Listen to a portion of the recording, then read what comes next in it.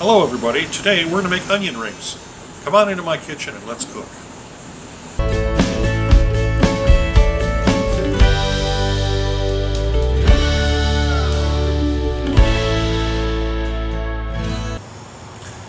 Hello folks, okay, we're going to start off for these onion rings we want to have either yellow onions or like a Vidalia onion. They're a little bit tastier than a white onion or a red onion. You can make them out of white onions or red onions. What I do is I cut both, both ends off. And I want to take the first layer off. Oops, I went too far there. Take the first layer off, because that's tough. You take the peeling off, plus the first layer. The bigger the onion, the better. You want to have one that's thick, this way. Because some of them, especially the Vidalias, are great onions, but they're smashed down, so you want to get the ones that are thicker. Take that off there. Sometimes it can be a little tough. Now what we're going to do, we're going to cut these oh, about three, not, not quite a half inch, just under a half an inch. Cut those down. Promise not to cut the fingers off, folks.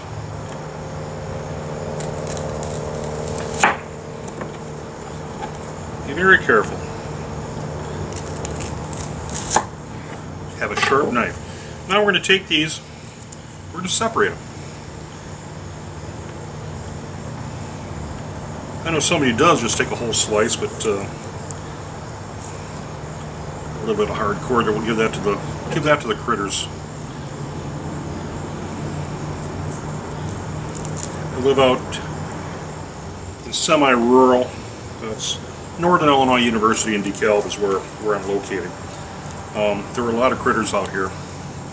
Some people call them students. Just kidding there. Um, now we have I have deer galloping through my backyard. I have uh, a lot of possums. Um, those black kitty cats with the white stripe down the back. I wish my neighbor would keep his locked up. Sorry, Roger. Had to talk about your skunk. no, we have foxes, everything running out here, and uh, they eat these scraps. I can throw something out here, it's gone within a couple days, usually the first night. The critters grab it. They need to eat too. And there's nothing wrong with a possum. People persecute them. They're ugly looking, but uh, they're clean. They don't have rabies. They clean everything up. They're God's creation.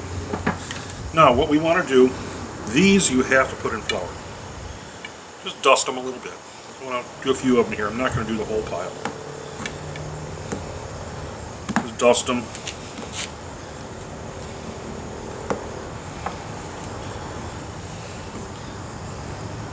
Some people double dip them, I don't. I also do this with uh, cornstarch and water with a little bit of salt and pepper in it. That does an excellent, excellent uh, onion ring as well. But for today, we're using the uh, pancake mix. I think that's there is enough for right now. We're going to take these, throw them in the batter,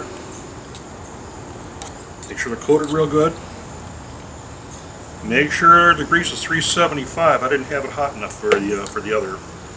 I got a little rambunctious, a little nervous making these videos. Like I say, I'm new to making these videos, so got it coated. Dump it right into the grease.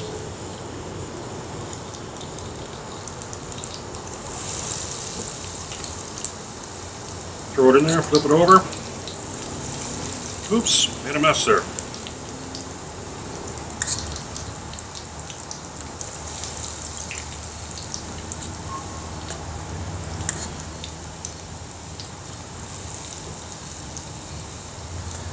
It's so easy to make these. Like I say, it's just, uh, yeah, I use kitchen forks for a lot of things.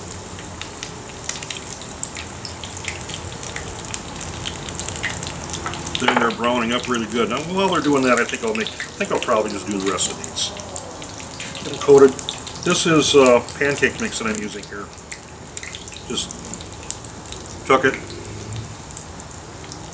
put it in the thing and then just uh, put the put the onions into the uh, wet mix. But this is dry pancake mix right here. These over here, almost done.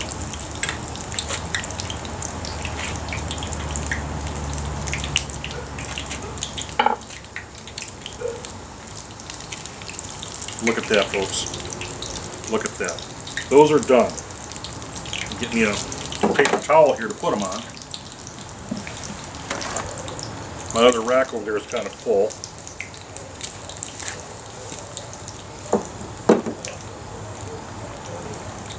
My grease is getting kind of dirty, black specks on there from the previous stuff.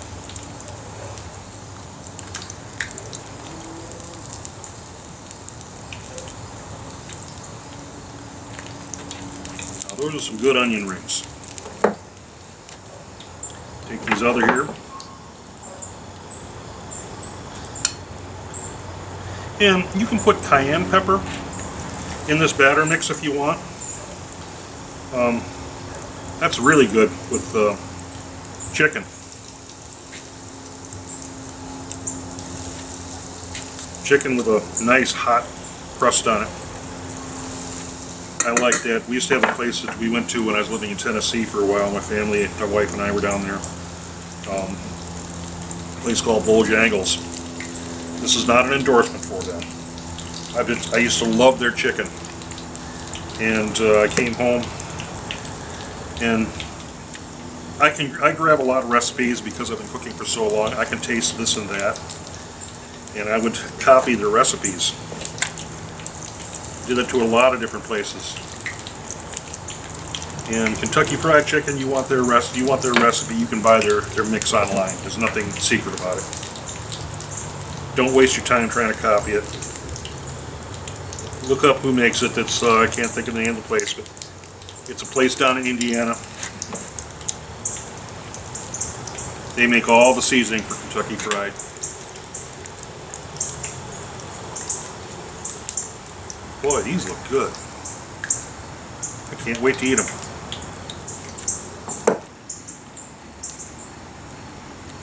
But that's all you have to do.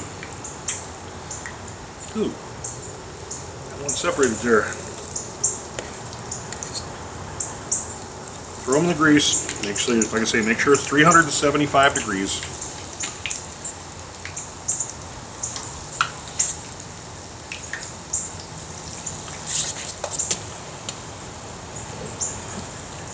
I'll chop these up and use these for salsa.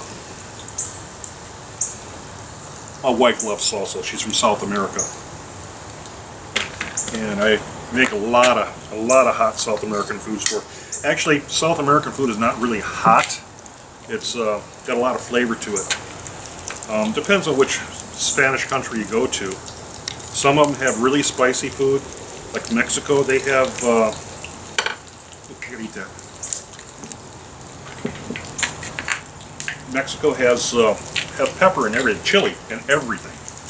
Let me go off the camera here for something. Chilies and everything. In my wife's country, it's mostly savory spices. And then they add the uh, hot chili and stuff afterwards. They add it.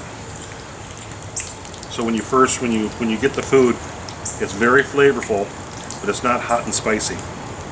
Delicious. But that's that's a story for another time. Okay, take these out.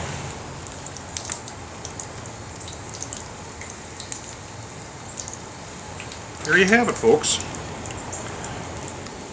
Fried onion rings made from pancake batter. You want to add more pepper to it, you can add more pepper to your batter. But that's the basics of it. Not everything you get from the food bank is as bad as it looks. You just have to know how to take it and work with it. Change it, add spices to it. You can't take anything out of it, remember that.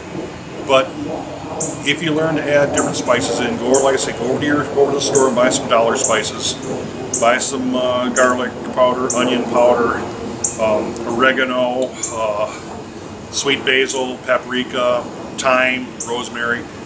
Buy those, and then also buy a bottle of uh, Italian seasoning. That'll get you through a lot of things where you don't have to start adding all these other things. Sometimes you can just take the Italian seasoning, pour it in, that's it. It's done. So, anyway, folks, that's it for today. You have a blessed evening. Christ be with you always.